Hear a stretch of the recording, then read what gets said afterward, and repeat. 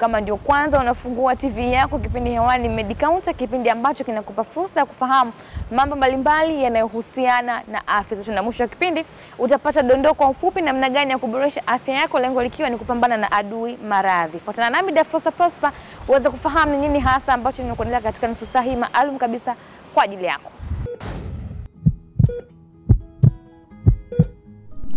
Medicounter, afya bora, ngao imara. Leo hii tutazungumzia hemorrhoids ama bawasiri, neno ambalo limezoeleka na watu wengi sana. Ninaye hapa daktari kutoka Special Clinic ambayo iko Mlimani Town opposite kabisa na Mlimani City, Dr. Innocent Tesha atakuja kutufahamisha bawasiri ni nini, dalili zake, lakini pia bila kusahau matibabu yake.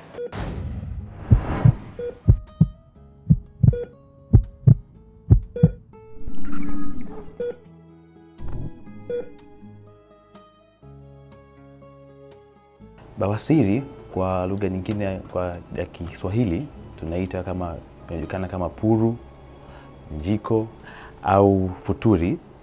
Ni mkusanyiko wa mishipa ya damu, misuli midogo ambayo inaitwa trades muscle na tishu ambazo zinapatikana katika mfereji wa njia wa haja kubwa, ambayo kazi yake kubwa hasa ni kudhibiti kinyesi. Sasa bawasiri kama bawasiri ambayo kwa lugha ya kigeni iliyozoeleka inaitwa hemorrhoid, kiuhalisia sio ugonjwa. Katika maumbile yetu ya kila binadamu lazima awe na bawasiri ambayo kazi yake kubwa ni kudhibiti kinyesi. Sasa bawasiri inakuwa ugonjwa pale ambapo mishipa ile ya damu na ile misuli na ile tissues ambazo zipo kwa pamoja zinapovimba na muda mwingine zinapopata inflammation ndo sasa neno bawasiri ambalo limezoeleka kama ugonjwa linapokuja kujulikana hapo.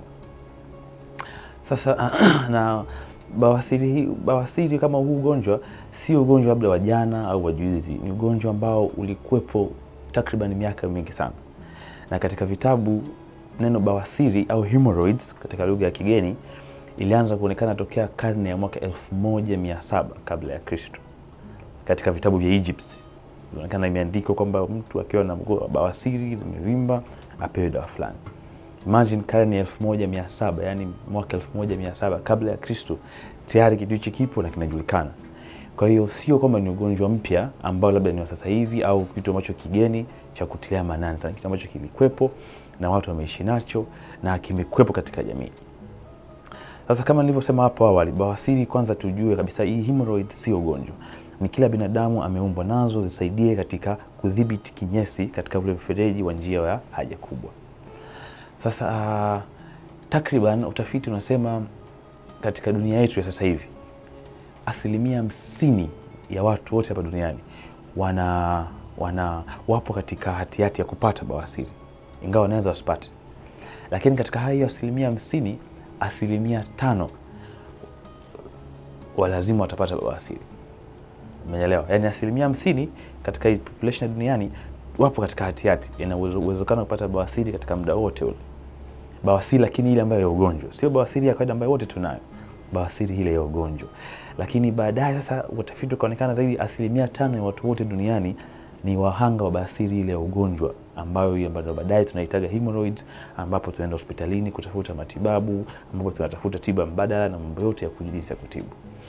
Sasa tafiti zinatuambia wote wanawake kwa wanaume wanaweza wakapata ugonjwa huu. Hakuna kwamba ni wanawake zaidi au wanaume zaidi, ni wote wanawake kwa wanaume wanaweza wakapata ugonjwa huu, na ni umri kuanzia hasa miaka 45 mpaka miaka 65 ndo wahanga wakubwa sana wa bawasiri. Kwa hiyo ile asilimia tano ambayo katika maisha lazima watu hao asilimia tano duniani wapate bawasiri, wengi wao wapo katika ule umri wa miaka 45 mpaka 65. Bawasiri zipo kuu za aina mbili. Kuna bawasiri ya tunasemaga bawasiri za nje na bawasiri za ndani. Bawasiri za nje ni, ni aina za bawasiri ambazo ukiachana na zile him, ukiachana na zile ambazo Mwenyezi Mungu ameziumba kuzuia kinyesi, sasa zinakuja ambapo zile zinakuwa zinaleta shida, yani zimevimba na zimepata inflammation. Ndio sasa mojawapo hizo bawasiri ambazo zinavimba na kupata inflammation, kuna bawasiri za nje, na hizo bawasiri za nje kwa lugha ya kigeni zinaitwa external hemorrhoids. Hizi external hemorrhoids uh, sosi yake mara nyingi zinatokea katika ngozi ya nje ya kile ya njia ya mfumo wa, wa, wa njia haja kubwa, na ile ngozi ya nje inakuwa ina, ina mfumo wa mishipa ya fahamu, yani nerves zinapita pale. Kwa zile nerves zinavyopita pale, kunakuwa na muda mwingine zikishavimba na kupata inflammation, yani labda zikishapata inflammation kabla zikaanza kupata infection zikawa nyekundu na nini, zinakuwa na maumivu makali sana. Hizo ni bawasiri za nje, yani external hemorrhoids. Na ukija kwa bawasiri za ndani ambazo sasa hizo ile njia ya, ya haja kubwa kwa ndani kidogo, ambapo huwezi kuziona hizi ngozi yake inatokana na ngozi ya ndani, ambapo tofauti na hii ngozi ya nje tunaigusa. Kwa hiyo kiuhalisia inakuwa haina maumivu yoyote. Kwanza, bawasiri kama bawasiri haina chanzo kamili kwamba hiki ni chanzo chake, hiki sio chanzo chake, bali tuna kuna vitu tunavitaja risk factors, yani vile visababishi vya bawasiri. Unaelewa? Sasa hivi visababishi uh, nitaviweka mimi katika nyanja kuu tano ili tuweze kuelewa kiurahisi na nyanja ya kwanza ni tunasemaga visababishi vya ukosefu wa diet za fiber. Sasa huu ukosefu wa diet za fiber ni katika maisha yetu ya kila siku, tunapambana na shughuli za kila siku, tunakimbizana na kujenga taifa, tunakula vyakula vya asubuhi, mchana, jioni. Katika ile lishe yetu kuna kipindi unakuta majukumu yanakuwa mengi, tunashindwa kupata diet zile zenye nyasi nyasi, yaani matunda yenye nyasi nyasi, mboga zenye nyasi nyasi, vyakula vyenye nyasi nyasi, ambavyo hivyo vyakula vinakuja kusaidia katika wakati wa choo na mfumo wa kutengeneza choo. Choo kinakuwa kinatoka kwa ulaini bila shida. Katika visababishi vya bawasiri kuna kitu tunakiita uh, shinikizo fumbashi, yaani kuongezeka kwa pressure ndani ya tumbo, ambayo kwa lugha ya kigeni ya kitaaluma tunasema increase in intra-abdominal pressure. Sasa kuongezeka kwa presha ndani ya tumbo au shinikizo fumbashi, hii inasababishwa na takriban vitu kama vitano au vinne kadhalika, na vitu hivi ni mojawapo vitu kama uh, uki ukijikakamua kwa muda mrefu, yaani mfano kwa wale wenzangu ambao utaenda gym kunyanyua kunyanyua chuma, kunyanyua chuma unajikakamua sana unajikakamua labda unajaribu kunyanyua chuma au kufanya mazoezi yanayofanya unakakamua tumbo. Sasa yale mazoezi yanakamua yanaongeza yana, yana pressure, yani shinikizo katika njia ya tumbo, ambayo baadaye inakuja kuaffect njia pia ya haja kubwa. Ikiongezeka ile shinikizo la, la, la, la fumbashi au intra-abdominal pressure, inafanya zile bawasiri zinaanza kushuka na kuvimba. Ukiacha kunyanyua vyuma labda kuna kitu kama ujauzito pia inachangia sana, kwa sababu katika ujauzito mama anakuwa na tumbo lake la kawaida na pia kunakuwa na mtoto ndani yake. Kwa yule mtoto pia anafanya anachangia katika kuongezeka kwa ile intra-abdominal pressure, ambayo pia ni mojawapo ya visababishi tunaamini vya kuwepo kwa bawasiri. Na ukiachana na hiyo, pia kuna unene. Ukiwa mnene sana, ukiwa mnene sana pia ina, ina, ina, imetafitika ikaonekana ni pia kisababishi cha kuongezeka kwa shinikizo, yani presha ya tumbo, ambayo baadaye inakuja kuleta bawasiri kuanza kushuka. Na cha mwisho, kukohoa. Unavyokohoa, jaribu kukohoa hapo, utakuta unavyokohoa lazima ukaze ile tumbo. Sasa katika kukohoa, unapokaza ile tumbo, pia ni kitu kimojawapo ambacho kinafanya ile presha, yani shinikizo fumbashi la tumbo kuwa kubwa, na inavyokuwa kubwa inafanya mojawapo ya visababishi vya bawasiri kuanza kuvimba na kuchomoza. Kama bawasiri ya ndani inaanza kutoka nje na kuchomoza. Hiyo ni nyanja ya pili. Nyanja ya tatu katika visababishi vya bawasiri kuna tunasemaga irregular bowel habits. Hizi irregular bowel habits ni yani kupata um, mm, kupata choo kisichokuwa na, na, na yani irregular, yani kwamba kuna saa unakuta mtu labda kina dada ambao wanapenda wapate miili membamba, miili ambayo sio minene sana. Kwa hiyo wengi unakuta wanapewa dawa za kupunguza uzito. Sasa zile dawa zinafanya wanaarisha sana.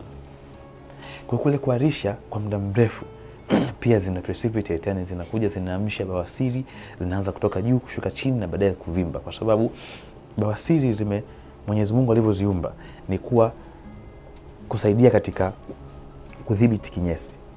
Sasa wewe unavyoenda kutumia dawa za kuachia kinyesi kila dakika, unapata choo cha kuharisha, unafanya bawasiri zinaanza kutoka katika ile maumbili yake ya kawaida na kuleta shida. Na pia sio tu kuharisha, bali kuna wale watu ambao wana, wana choo kigumu sugu, yaani mtu huyu Januari mpaka Disemba yeye ni choo kigumu tu. Hichi pia ni chanzo kikubwa sana cha bawasiri kuanza kuwa mhanga kwa mtu aina hii.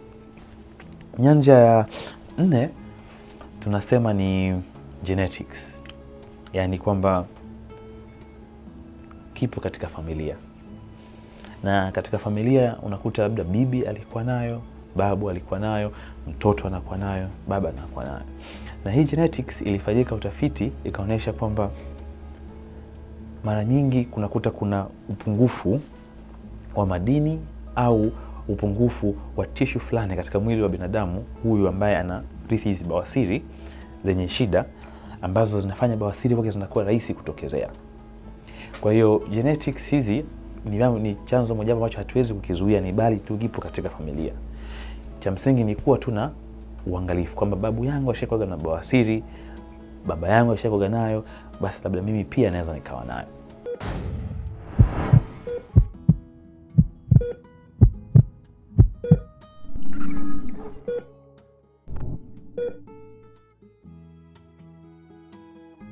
Chanzo cha mwisho ni uzee. Umri unapoenda, misuli yetu, mishipa yetu haiwi kama zamani, inachoka kwa namna fulani. Unapokuwa mtoto unakuwa na mchangamfu, unakuwa na afya, lakini umri unapoanza kwenda, unasogea, unaanza kuchoka kidogo. The same applies kwenye misuli yetu ya njia ya haja kubwa na misuli yetu kote mwili mzima inachoka. Hasa ile misuli ikishachoka, inaanza kuwa mipesi sana kupata bawasiri za kuvimba au bawasiri zile zenye kupata inflammation. Na ndio maana kama hapo awali unakumbuka nilielezea kwamba kuna umri hasa maalum ambao unawapata wagonjwa hawa wa bawasiri, umri kuanzia miaka 45 mpaka 65. Kwa hiyo nimeshaelezea nyanja kuu tano. Nyanja ya kwanza ambayo ni ukosefu wa diet za fiber, nyanja ya pili ambayo ni shinikizo fumbashi, kuongezeka kwa pressure ndani ya tumbo, nyanja ya tatu ambayo ni kuwa kutokuwa na mzunguko mzuri wa vyoo, kuharisha sana, choo kigumu sana. Nyanja ya nne ambayo ni genetics, yani kuwa na bawasiri ya kurithi, bawasiri ugonjwa ya kurithi. Na nyanja ya tano ni ya umri kwenda, nyanja ya uzee. Lakini ukiachana na hizo nyanja tano, kuna tunasemaga kuna other risk factors, yani ambazo hazipo katika hizo, lakini pia ni tuna saidiki tunahisi kama pia nayo vyenye visababishi mojawapo ndio hivyo kufanya uh, tendo kinyume cha maumbile, yaani kufanya tendo, tendo la ngono kinyume cha maumbile. Hiki pia tafiti zimeonyesha kwamba ni visababishi, kinaweza kikawa kisababishi kikubwa sana cha bawasiri, kwa sababu bawasiri kama hapo awali nilivyoelezea, ni Mwenyezi Mungu ameziumba au zimeumbwa kusaidia katika kudhibiti kinyesi. Sasa mtu anapofanya tendo la ndoa kinyume cha maumbile anakuja na ziathiri hizi bawasiri zisikae katika ile mfumo ambao zitakuwa zikae, ambazo pia baadaye zinaleta sasa inflammation au baadaye zinaleta kuvimba, kwa sababu ya labda umezuia mzunguko wake wa damu kawa sio mzuri, au kuna namna yote ile kapata shida. Ukiachana na hiyo, pia cha kushangaza sasa, tafiti pia zinasema watu wenye hadhi za juu za kimaisha wapo katika hatihati hati za kupata bawasiri. Na ni kwa nini? Kwa sababu inaaminika watu wenye hadhi za juu za kimaisha, watu wenye waliojaliwa uwezo, wanakaa muda mrefu sana. Kwa hiyo wanapokaa muda mrefu, pia kini chanzo cha kusababisha kuongezeka shindikizo fumbashi na pia kupunguza mzunguko wa damu katika njia ya haja kubwa, na ndo bawasiri, tatizo zile bawasiri gonjwa linapoanzia pale. Kwa hizo ni katika visababishi vikubwa ambavyo vinaaminika vinaweza vikawa chanzo cha bawasiri. Mtu mwenye uwezo ambao tunasemaga high socio-economic status, yeye atakaa kwenye gari, atakaa ofisini, akienda chooni atakaa, mona akirudi sebuleni atakaa, chumbani tena atalala atakaa. Vyote huo mzunguko wote, prolonged sitting, pia ni risk factor ya bawasiri. Dalili kuu ya kwanza ya bawasiri ni kuona damu katika choo. Sasa hiyo inavyotokea, hiyo inavyotokea uta, utajiuliza sasa hivi na bawasiri za ndani au za nje au ni bawasiri tu nimezipata? hapo awali nilielezea kwamba bawasiri za nje zinakuwa na ile ngozi ambayo ina maumivu makali sana, lakini bawasiri za ndani haina maumivu. Kwa unapoona umeenda chooni unajisaidia haja kubwa, alafu imekuja damu ghafla bila maumivu bila nini, jua kwamba unaweza ukawa na bawasiri na bawasiri hizi ni za ndani ambazo hazijapata maumivu. Dalili ya pili ambayo pia ni katika dalili kuu tatu za bawasiri ni dalili ya maumivu makali sana. Maumivu haya unaweza ukayapata wakati wa choo au hata wakati sio wa choo. Maumivu haya yanakuja katika njia ya haja kubwa. Kwenye njia ya haja kubwa kule ndio haya maumivu yanakuwepo makali, na yakishakuja, tafiti zinasema yanakaa kwa takriban masaa 48 mpaka 72 makali. Yakishakaa yanasaidiana na kauvimbe, ambao ndio nakuja kuongelea dalili ya tatu. Dalili ya kwanza damu kwenye njia ya haja kubwa wakati una, una, unapata choo. Dalili ya pili maumivu makali. Maumivu makali haya yakishakuja, kuna saa anaweza kaja na uvimbe au yasija na uvimbe, lakini sasa ma, ma, mara nyingi maumivu makali yamezoeleka kuja na uvimbe. Kwa hiyo akija na uvimbe ambao ni dalili ya tatu ya bawasiri, kuna vitu viwili, maumivu yatakuja, yatakaa masaa 48 mpaka 72, yani siku mbili mpaka tatu, yataisha, alafu ule uvimbe sasa utabaki pale. Na huu uvimbe unaujuaje? Unaujua pale unaposhangaa tu, nikienda chooni, nimemaliza haja yangu kujisaidia, nikijaribu kujitawaza, kujisafisha, naona kuna kitu ambacho sio cha kawaida kipo sehemu ile, na uvimbe huu unaishaga baada ya siku wiki mbili, wiki siku na mbele kwa bawasiri ya gonjwa. Na dalili ya mwisho ambayo hatuilink sana na bawasiri ni dalili ya kupungukiwa kwa damu, kwa sababu ulipata damu mara ya kwanza, damu ikawa inaendelea kutoka, ukawa unahisi itaisha, damu inaendelea kutoka, unahisi inaisha, damu inaendelea kutoka, unahisi inaisha. Baadaye unaweza kuona dalili za mwili kuchoka, kichwa kuuma, kupata kizunguzungu, ambazo hizo ni viashiria kwamba una upungufu mkubwa wa damu. Matibabu mojawapo ya bawasiri ni kuhakikisha unapata chakula chenye diet za fiber. Vyakula hivi tunavijua wengi, mboga za majani, matunda yale yenye nyasi nyasi, si machungwa unavyokula yale mpaka sakafu yake ya machungwa, umeelewa? Alafu uh, mahindi yasiyokobolewa yana nyasi kwa mbali. Vyakula vyote ambavyo kwa namna moja au nyingine vina zile fibers ambazo zinaweza kukusaidia unapopata choo kinakuwa choo kilaini na ambacho hakina shida. Hii ni njia nyanja mojawapo ya matibabu ya bawasiri ambayo bado hayahusiani na operation wala dawa. Nyanja ya pili kama nilivyoelezea katika masababishi, kuongezeka kwa shinikizo fumbashi, yani presha ya tumbo hii, ambayo presha tumbo ikiongezeka inasababisha pia bawasiri chini zinashuka na mzunguko damu unakuwa mgumu, chini zinavimba. Kwa hiyo hii presha ya tumbo tunaipunguzaje sasa? Kwa sababu tunataka tuna bawasiri, tunataka nipunguze presha ya tumbo, bawasiri ziishe. Njia mojawapo ya kuzipunguza ni kupunguza kukakamua tumbo, yaani kupunguza labda mazoezi yale na kukamua tumbo, kunyanyua chuma, kufanya sit ups, unaelewa, au kama nilivyosema pale, kukohoa muda mrefu. Unajua unapokohoa lazima tumbo likaze, kwa unaongeza shinikizo fumbashi la tu, ya shinikizo fumbashi, yani presha ya tumbo ile. Kwa hiyo vitu vyote hivyo ushagundua kama mimi ni mhanga, labda penda sana kwenda gym, kunyanyua chuma, alafu labda jana usiku nimekutana labda na uvimbe katika njia haja kubwa, utajaribu kuconnect dots na kugundua kwamba labda uvimbe huu unatokana na mazoezi nayofanya kila siku jioni. Kwa hiyo ukijaribu kupunguza ile pressure ya tumbo, kwa ya kwanza kupunguza kukakamua tumbo, ya pili kupunguza uzito. Kuna watu ambao tuna bahati nzuri tumejaliwa unene. Unene, unakuta mtu ana kitambi kikubwa sana, kwa ile pia inaongeza presha ya tumbo na ukijikuta una ni mhanga bawasiri, jua kwamba mojawapo ya chanzo ni unene wako uliokuwa nao. Kwa hiyo jaribu kupunguza ule unene, angalau pia utasaidia bawasiri iweze kurudi na kukaa sehemu yake ya kawaida. Bawasiri ikishatokea alafu ukasema ukajaribu kuitibu kwa mara ya kwanza, ukajaribu kupunguza kutumia diet ya fiber, ukajaribu kufanya mazoezi, ukajaribu kupunguza kukaa muda mrefu, ukashindikana alafu hutaenda hospitalini, bawasiri zile zina kitu kinafanya tunakita zinakuwa thrombosed.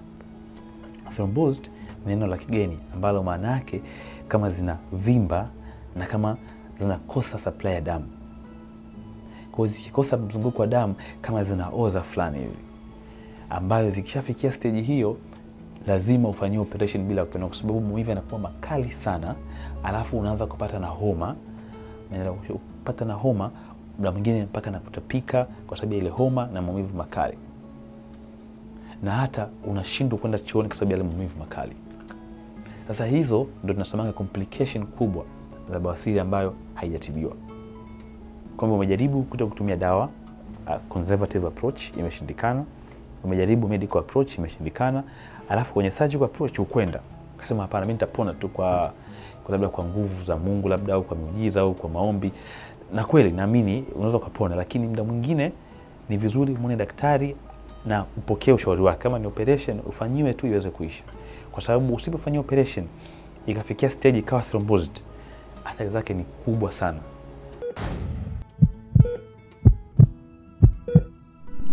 Medicounter, afya bora, ngao imara.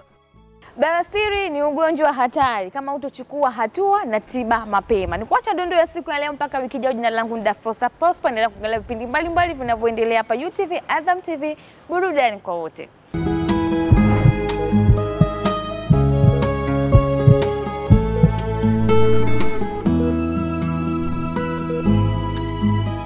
Kunywa juisi ya carrot na utapata faida zifuatazo.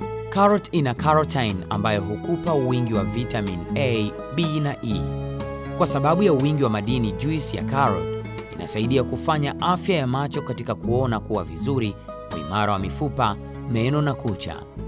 Pia ngozi nyororo yenye afya bila kusahau nywele. Juisi ya karoti inasaidia kupunguza uwezekano wa kupata kansa ya ngozi na matiti. Ukosefu wa vitamin A husababisha ngozi kukauka, kucha na nywele kuwa dhaifu sana, lakini juisi ya carrot ina wingi wa vitamini hivyo, na juisi hii ndiyo mpango mzima. Kwa sababu ya wingi huo wa vitamini A husaidia ini kufanya kazi yake ipasavyo, na inasemekana kuwa ili ipatikane vitamini A ya kutosha, kunywa juisi hii kila siku na sio ukijisikia. Madini kibao yanapatikana kwenye carrot: calcium, potassium, copper, iron, magnesium, manganese na phosphorus. Kwa mama anayenyonyesha, karoti inamsaidia kupata maziwa yenye afya kwa mtoto. Kunywa juisi ya karoti kwa afya yako.